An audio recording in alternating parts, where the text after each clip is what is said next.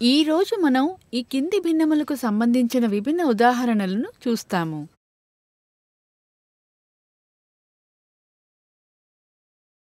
శైలి ఒకరోజు రెండు చాక్లెట్లు తెచ్చింది. రెండు చాక్లెట్ల పరిమాణం ఒకే విధంగా ఉంది. ఆమె మొదటి చాక్లెట్ను ఐదు సమాన భాగాలుగా చేసింది మరియు వీటిలో రెండు భాగాలను నిషాకు ఇచ్చింది. అదేవిధంగా తన రెండవ చాక్లెట్ను పదిహేను సమాన భాగాలుగా చేసింది. మరియు వీటిలో ఆరు భాగాలను ఈశాన్కు ఇచ్చింది. శైలి వారిద్దరికీ సమానమైన చాక్లెట్ భాగాలను ఇచ్చిందా? శైలి మొదటి చాక్లెట్ను ఐదు సమాన భాగాలుగా చేసి అందులో రెండు భాగాలను నిషాకు ఇచ్చింది. ఈ విధంగా తను నిషాకు రెండు బై ఐదు చాక్లెట్ ఇచ్చింది. మళ్ళీ తన రెండవ చాక్లెట్ను పదిహేను సమాన భాగాలుగా చేసింది. మరియు ఇందులో నుంచి ఆరు భాగాలను ఇషాన్కి ఇచ్చింది ఈ విధంగా తను ఇషాన్కు ఆరుపై పదిహేను చాక్లెట్లు ఇచ్చింది. శైలి వారిద్దరికీ సమానమైన చాక్లెట్ భాగాలను ఇచ్చిందో లేదో తెలుసుకోవాలి.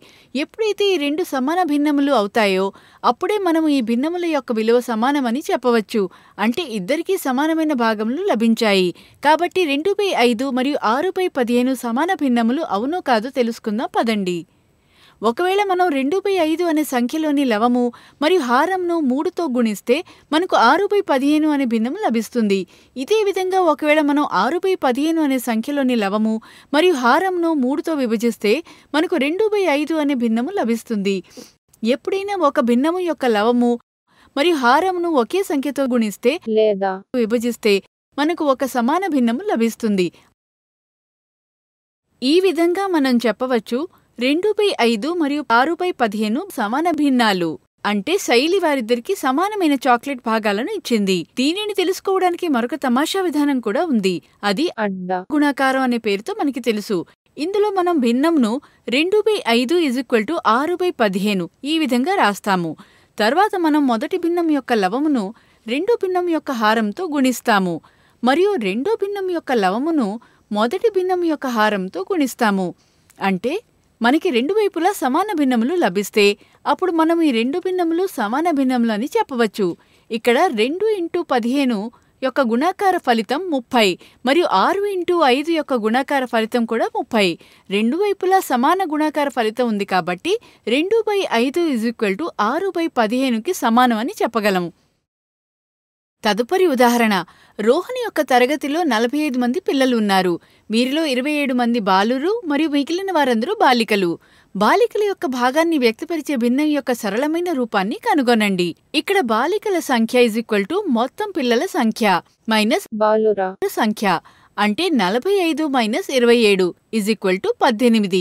ఎందుకంటే నలభై ఐదు మంది పిల్లలలో పద్దెనిమిది మంది బాలికలున్నారు. కాబట్టి దీనిని పద్దెనిమిది బై నలభై ఐదు భిన్నంగా సూచిస్తాము. దీనిని సరళమైన రూపంలో వ్యక్తపరచడానికి ముందుగా మనం పద్దెనిమిది మరియు నలభై ఐదు యొక్క ప్రధాన కారణాంక విభజన చేద్దాము. అప్పుడు పద్దెనిమిది యొక్క కారణాంకాలు మరియు నలభై ఐదు యొక్క కారణాంకాలు ఈ విధంగా వ్యక్తపరుస్తాం. ఇప్పుడు చెప్పండి వీటి గరిష్ట సామాన్య వాచకం ఏమవుతుంది? ఆలోచించండి. ఖచ్చితంగా సరైంది. ఈ రెండింటి యొక్క సాధారణ కారణాంకం మూడు ఇంటూ మూడు కాబట్టి గరిష్ట సామాన్య కారణాంకం తొమ్మిది అవుతుంది. ఇప్పుడు మనము పద్దెనిమిది బై నలభై ఐదు యొక్క లవము మరియు హారంను గరిష్ట సామాన్య కారణాంకం తొమ్మిదితో విభజిస్తాము. దీని ద్వారా మనకు సరళమైన రూపము రెండు బై ఐదు లభిస్తుంది. ఈ రూపం పొందటానికి మనము లవము మరియు హారము వాటి యొక్క ప్రధాన కారణాంకంతో వ్యక్తపరచవచ్చు మరియు లవము మరియు హారం యొక్క సాధారణ కారణాంకాన్ని రద్దు చేయవచ్చు. తదుపరి ఉదాహరణ. ఇచ్చిన ప్రతి చిత్రానికి షేడెడ్ భాగం యొక్క వివిధ భాగాలను వ్యక్తపరచండి. ఇవన్నీ భిన్నంగా ఉన్నాయా? మొదటి చిత్రంలో మూడు సమాన భాగాలు ఉన్నాయి. వాటిలో రెండు భాగాలు షేడ్ చేయబడ్డాయి.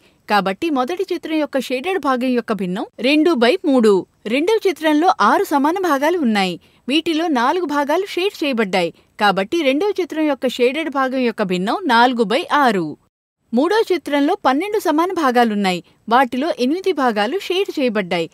కాబట్టి మూడో చిత్రం యొక్క షేడెడ్ భాగం యొక్క భిన్నం ఎనిమిది బై పన్నెండు.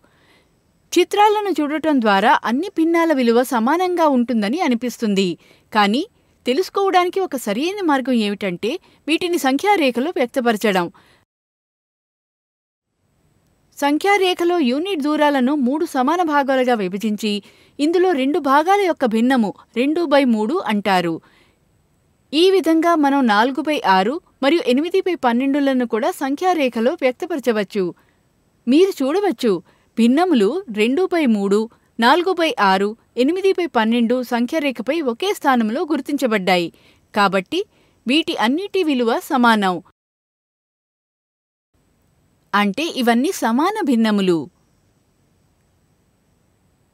ఈ రోజు మనం ఈ క్రింది భావనలకు సంబంధించిన విభిన్న ఉదాహరణలను చూసాము తదుపరి వీడియోలో వాటికి సంబంధించిన అపోహలను తొలగిద్దాము.